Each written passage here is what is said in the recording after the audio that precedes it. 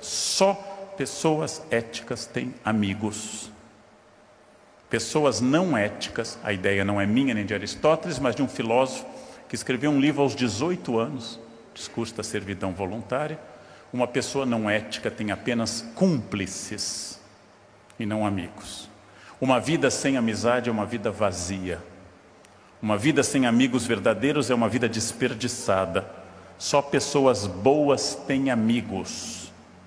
Pessoas desonestas têm cúmplices. Quem disse isso? O nosso querido Etienne Laboissy.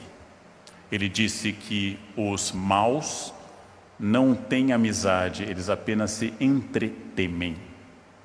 Eu acrescentaria: os maus têm medo de uma delação premiada. Os maus olham para a pessoa que foi procurá-los, tem uma caneta espiã, um gravador, porque aparecer gravação ultimamente é moda. A pessoa que tem um amigo não precisa ter essa preocupação. Amigos são poucos e escassos ao longo da vida, e esta é uma lição que eu duramente aprendi. Nós temos centenas de conhecidos, mas temos poucos amigos. E eu já lancei uma vez e volto a dizer que há um teste eficaz, infalível, para vocês aplicarem sobre a amizade. Ao retornarem às suas casas ao longo dos próximos dias, reúnam os amigos e digam sobre o sucesso de vocês. Não falem de fracassos. O fracasso provoca solidariedade entre todas as pessoas. O fracasso provoca proximidade entre as pessoas. Se eu disser que tenho um câncer, receberei abraços todas as pessoas.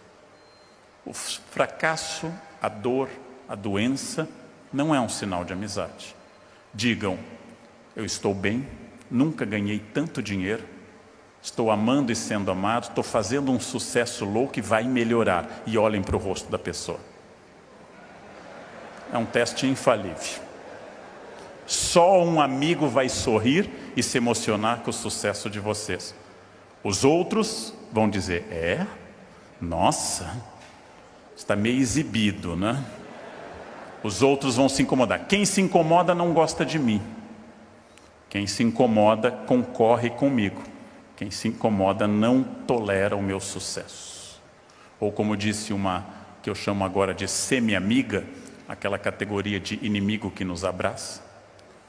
Disse uma semi-amiga dizendo: Nossa, Leandro, você passa o Brasil inteiro dando palestra, escreve muitos livros, todo mundo quer ouvi-lo. Isso passa, viu? Isso passa. Bem, ainda não passou, mas passará um dia.